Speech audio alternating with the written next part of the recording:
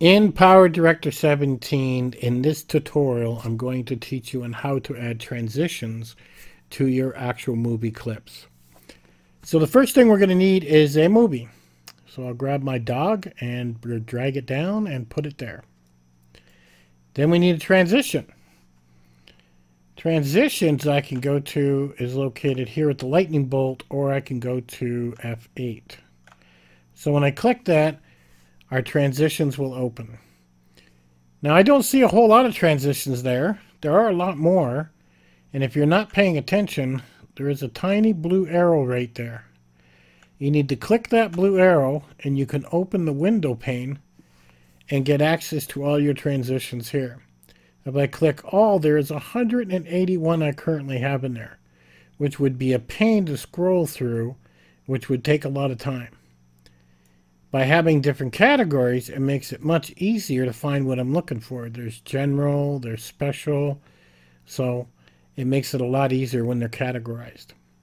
So now, let's say I want to take the heart. I want to put it, I don't know, anywhere in here, but it's not letting me. I got a hand, I got, I, I come down here, nope. It's just not working. And the reason for that is, is because I didn't cut it you have to actually cut your video or split. So let's say I want one probably right there, okay? Up here, just a little bit to the left, you will see split your timeline, which is cutting your video. So I put a slice in it, and I got a line there now, and you'll see it there. See that slice there? So now let's say I'm going to expand this so you guys can see this easier. I'm going to say view entire movie, which is just under this place. So that stretches it out. So now you can see my line a little bit easier.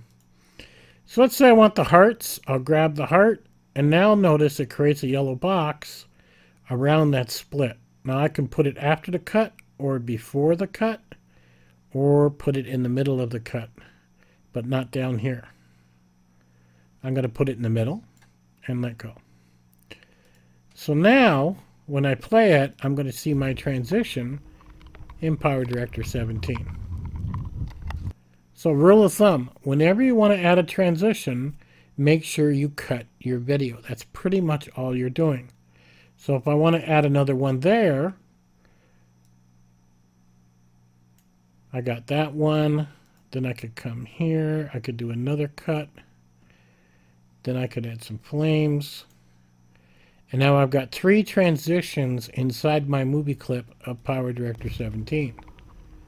There's one, there's two, and there's three. I could simply add some music to it, and now I could really play it with my transitions. Now transitions normally are placed when you go to one clip to another clip.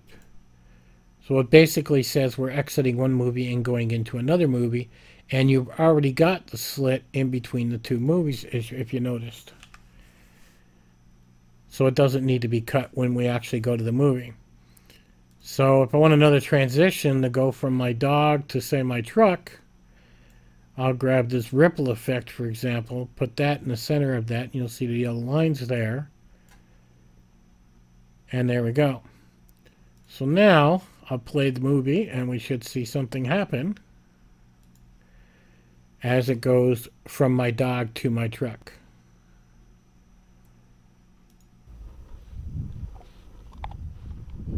And you see how it had that wavy look to it.